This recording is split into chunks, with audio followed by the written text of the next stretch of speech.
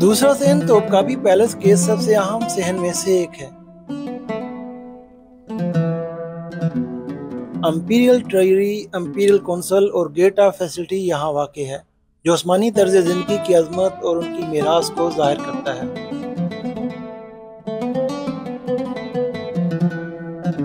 Imperial council chamber वो chamber है जिसमें वज़ीर अजम और कौंसल के दीगर वजरा के इजलास होते थे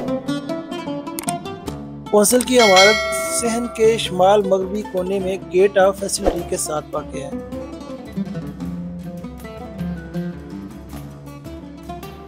ये तीन गुंबद वाला चैम्बर है। पहला कौंसिल के लिए मखसूस था, दूसरे पर अम्पीरियल कौंसिल के सेक्रेटरी का कब्जा था, और तीसरे में क्लर्क अपना रिकॉर्ड रखते थे।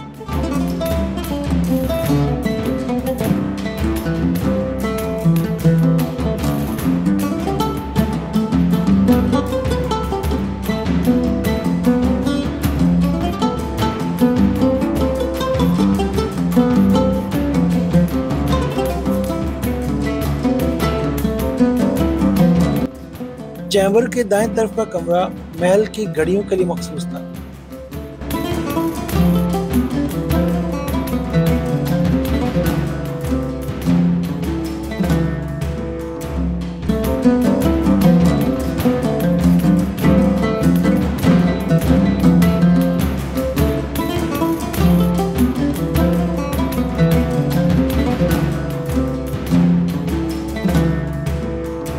कॉपी के तीसरे सहन के मशरकी किनारे पर वाक़ ट्रेजरी में सोने चांदी याकूत जमुर्द जेट, मोती और हीरों से बनी या मुजयन अशिया का एक नाकाबले यकीन जहीरा मौजूद है।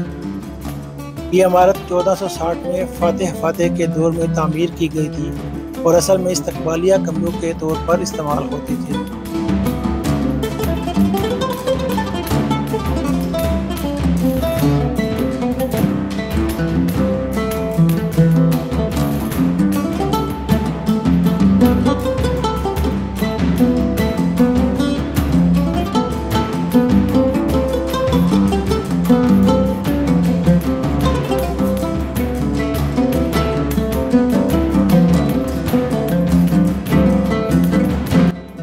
तीसरे सेन की तरफ़ खुलने वाला दरवाज़ा बाबू साद के नाम से जाना जाता है। बाबू साद वो जगह थी जहाँ सुल्तान मखसूस दिनों में अपने तख्त पर बैठता था, दूसरे सहन में होने वाली तकरीबात को देखता था और सफ़ीरों का इस्तकबाल करता था। सुल्तान के अख्तियार के बगैर इस दरवाजे से कोई नहीं गुजर सकता था। यहाँ तक कि वज़ी अजम को सिर्फ़ मखसूस दिनों और मखसूस शराइ के तहत इजाज़त दी गई थी।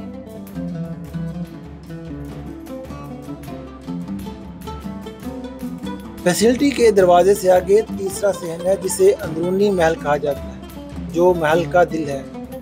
तीसरा सहन महल के नजी और रहायशी इलाकों पर मुश्तमिल है।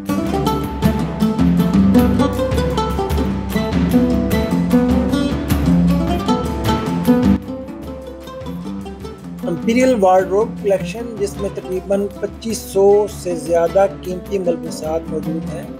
जो सुल्तानों के कीमती कफ्तान पर मुश्तमिल है।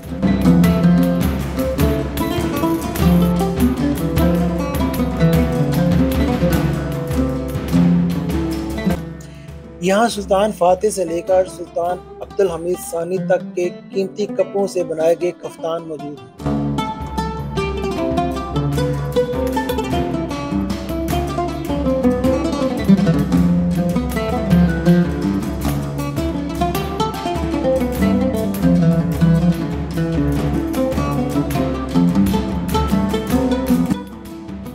अम्पीरियल ट्रेजरी पंद्रहवीं सदी का फातेह पवेलियन महल की एक ख़ास बात है, जिनमें छः कमरे हैं, सहन में एक खूबसूरत फवारा है और अम्पीरियल ट्रेजरी की नुमाइश है।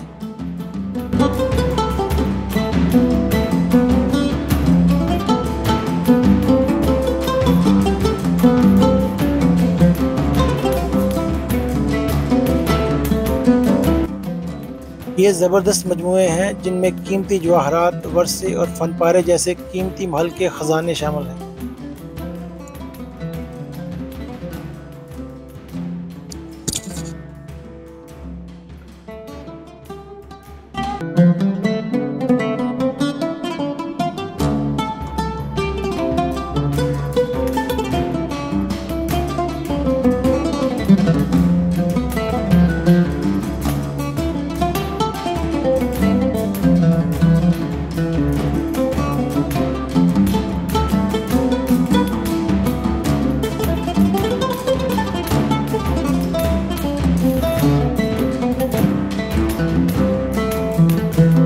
तीसरे सहन में मौजूद ऑडियंस चैम्बर सोलहवीं सदी का पवेलियन था, जहाँ सुल्तान अपने वजीरों, अहम हुकाम गैर मुल्की सफ़ीरों से रियासती अमूर पर तबादला ख्याल किया करता था।